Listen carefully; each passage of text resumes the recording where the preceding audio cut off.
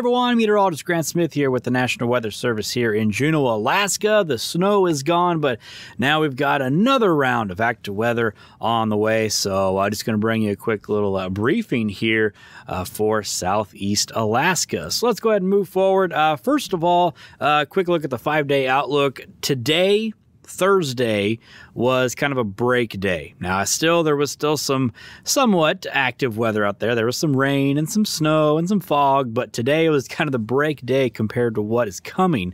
Uh, temperatures are going to slowly rise uh, along with snow levels uh, through Monday and we are tracking uh, some heavy rain potential that's going to move from south to north uh, beginning on Friday and lasting into uh, at least the uh, start of next week. And times there could be surges of heavy rain uh, as well with this. And uh, so we'll talk about the forecast, we'll talk about the details that are still in the works, and then some uh, potential impacts of uh, a weather system like this. It does really no good to know what uh, what the weather is if we don't know how it's going to actually impact us. So uh, for starters, this is just a video loop of showing the rising snow levels through Monday. And the big implication of this is the warming temperatures.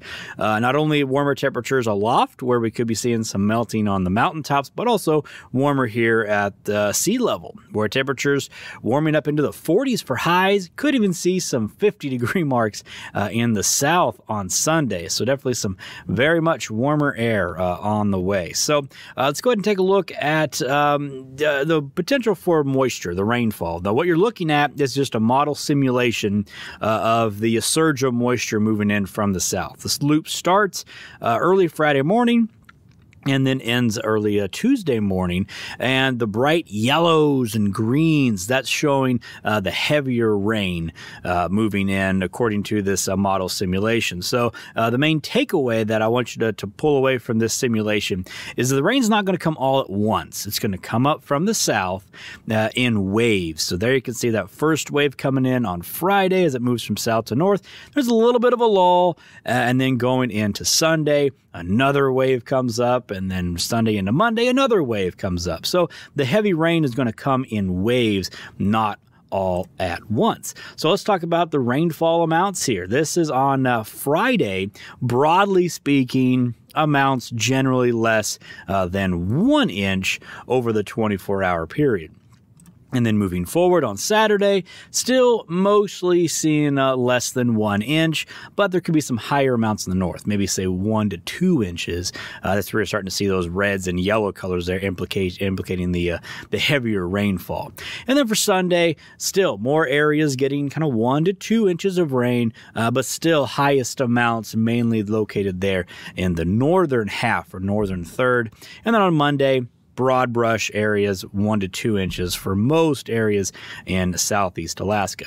So, as far as the details that are still in the works, the wind, the wind is going to come in surges just like the rain. So, potentials of 40 plus miles per hour uh, wind gusts with each wave. And there's even some potential for high wind gusts. And high wind gusts are defined as 60 miles per hour uh, for the south uh, Sunday and Monday. So if you're in the uh, outer coast, uh, Prince of Wales Island, Ketchikan, uh, Annette Island areas, the kind of that southern third. That's where we have some potential for some high wind gusts of 60 miles per hour. So keep in mind, uh, if you're not in those areas, still could see some wind gusts upwards of 35 to 40 miles per hour with each wave of, of the heavier rain. Speaking of rainfall, uh, the timing of each wave is going to have some impacts on the forecast. Uh, so stay plugged into the forecast at weather.gov slash Juneau, but generally speaking, as each wave comes in, still looking at the heaviest amounts in the northern half or northern third, uh, but still just each wave coming in, the timing of when those come in is still being worked on. And then the snow. There is potential for snow, but mainly at upper elevations on the Klondike and Haines highways. Speaking of which, we do have a couple of watches that were issued uh, for uh, the Klondike Highway near Skagway. Snow accumulations up to 17 inches possible. Now, the timing of the warmer air could mean that this may need to be extended for even greater amounts of snowfall if that warmer air is not able to make it all the way up uh, into the uh, Klondike Highway and uh, near Skagway. Now, Skagway could see some minor amounts of snowfall, but as far as the main event is higher up on the on the highway there. And then also for the Haines Highway and Klukwan area, also seeing snow accumulation around four to nine inches.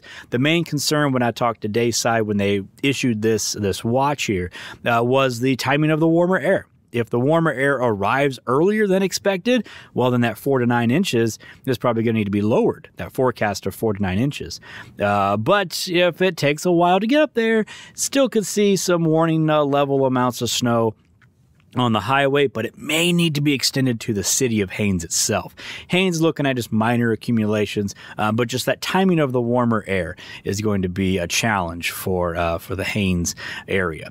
Uh, so as far as the possible impacts, what does all this mean? Well, the rain on significant snowpack um, uh, is currently in place in the north can result in several uh, impacts. Several things could happen. The snow will become heavier as it absorbs the rain, making it more difficult to move.